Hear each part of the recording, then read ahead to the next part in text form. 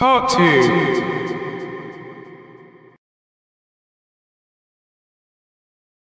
Kinds of sentences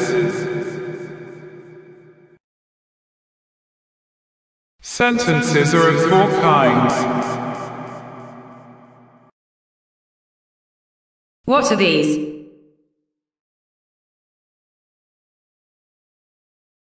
These are declarative or assertive sentence, interrogative sentence, imperative sentence, exclamatory sentence.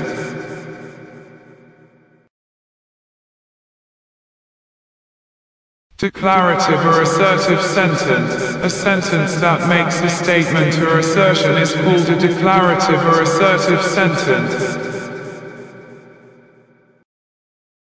Examples of declarative sentence. Rafia sat on a wall. Ahmed is playing cricket. Norman sat on a table.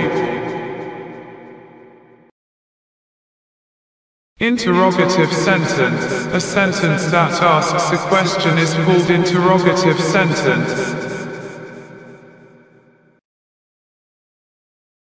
Examples of interrogative sentence. Where do you live? Are you right? Are you okay?